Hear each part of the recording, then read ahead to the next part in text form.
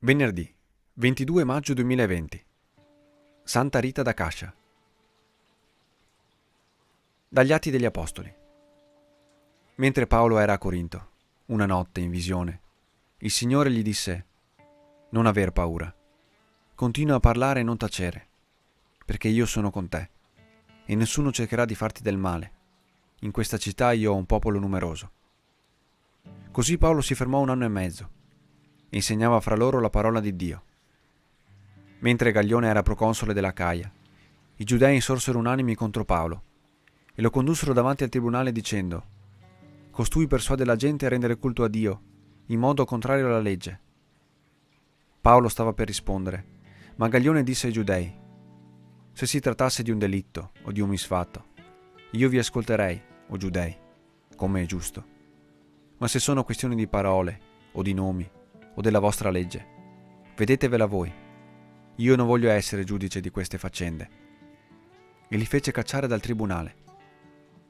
Allora tutti afferrarono Sostene, capo della sinagoga, e lo percossero davanti al tribunale.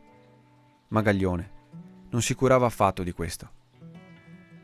Paolo si trattenne ancora diversi giorni, poi prese congedo dai fratelli e si imbarcò diretto in Siria, in compagnia di Priscilla e Aquila a Cencre si era rasato il capo a causa di un voto che aveva fatto. Dal Salmo 46 Dio è re di tutta la terra. Popoli tutti, battete le mani. Acclamate Dio con grida di gioia, perché terribile è il Signore, l'Altissimo, grande re su tutta la terra. Dio è re di tutta la terra.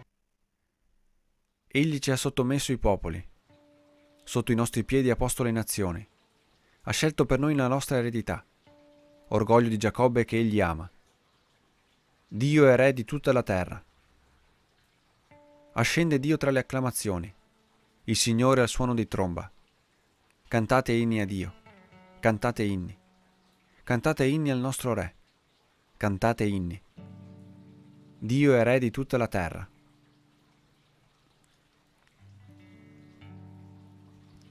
Dal Vangelo secondo Giovanni.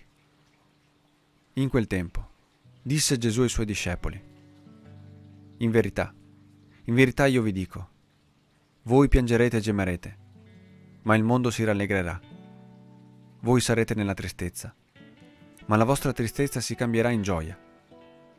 La donna, quando partorisce, è nel dolore, perché è venuta la sua ora. Ma quando ha dato alla luce il bambino, non si ricorda più della sofferenza, per la gioia che è venuto al mondo un uomo.